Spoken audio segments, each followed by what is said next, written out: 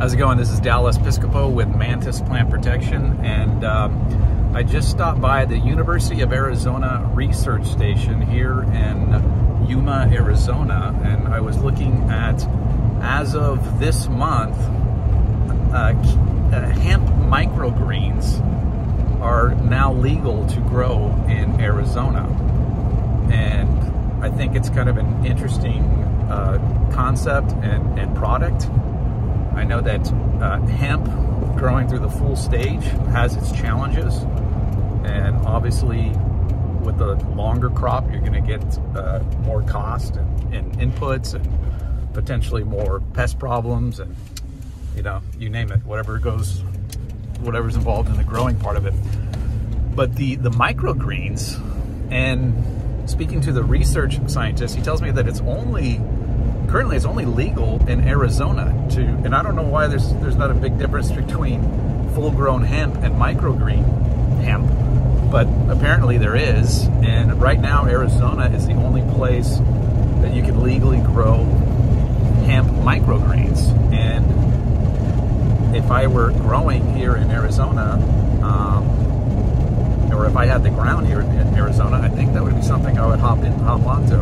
It may be just kind of a trend, but I think it's going to be a long-lasting trend. And here in the next few years, you're probably going to see a lot of uh, hemp microgreens and salad mixes and whatnot. It doesn't produce any CBD, but uh, but it's uh, and it's and it's a short crop. It's supposed to be about 20 days. Um, he's working on different varieties and timing and whatnot, and it looks like it's going to be more of a 30 to 40 day crop.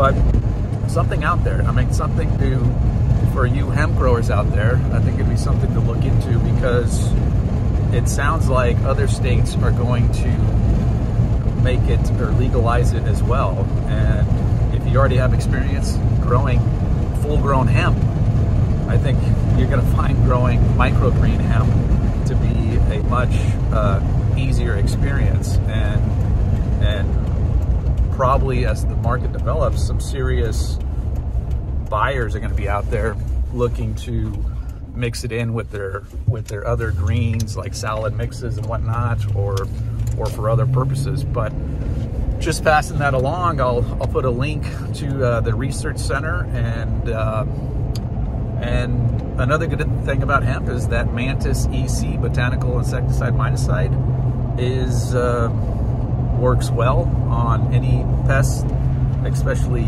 spider mites and other soft body insects.